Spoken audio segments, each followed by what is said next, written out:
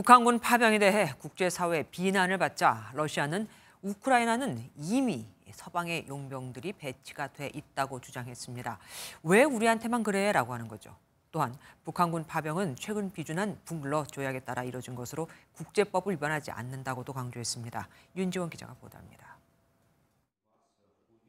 쿠웨이트 외무장관과 회담 후 기자회견에 나선 세르게이 라브로프 러시아 외무장관.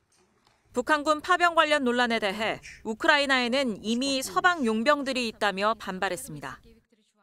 приводил конкретные данные о том, что в рядах вооруженных сил Украины воюют военнослужащие западных армий. 서방 용병과 위성 정보 데이터 없이는 장거리 무기를 사용할 수 없었을 것이란 주장입니다. 또한 러시아와 북한과의 관계는 정직하고 공개적이라면서 북한과의 포괄적인 전략적 동반자 관계에 관한 조약을 근거로 제시했습니다.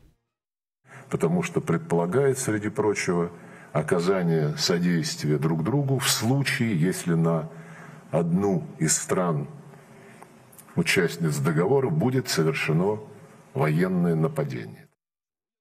조약에 따라 북한군 파병이 이루어졌기 때문에 국제법을 위반하지 않았다는 주장입니다. 이런 가운데 우크라이나 전쟁 이후 북한이 러시아에 전달한 무기의 규모가 최소 2조 4천억 원에서 최대 7조 6천억 원에 달한다는 독일 싱크탱크의 추산이 나왔습니다.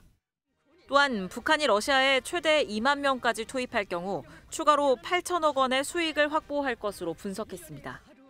MBN 뉴스 윤지원입니다.